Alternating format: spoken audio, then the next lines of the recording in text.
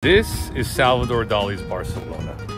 Or maybe this is? Trying to see Barcelona from Dali's point of view is like chasing a ghost. Just like his artwork, his mark on this city is surreal. So I'm asking a trustworthy source, artificial intelligence, to take me to the one place he used to stay when he was in the city, El Palace Hotel. Why am I doing this? I don't know about you, but I'm sick of the top 10 lists and the same old tourist sites. I want to get to know the city from the eyes of the greats. And the moment I walk in here, I can tell. Dali liked the grand things in life life. I asked Guide Geek about it, and it turns out he was quite the big spender, apparently obsessed with money. But I just keep thinking, was his shtick all an act? Was it all for the money, the attention? That's when I realized this city is a perfect setting for a surrealist. You could easily get lost in these hundred year old bars, walking the alleyways, seeing the unique architecture, which is fantastic, don't get me wrong, but sometimes it's nice to have a friend like Guide Geek to lead you in the right direction.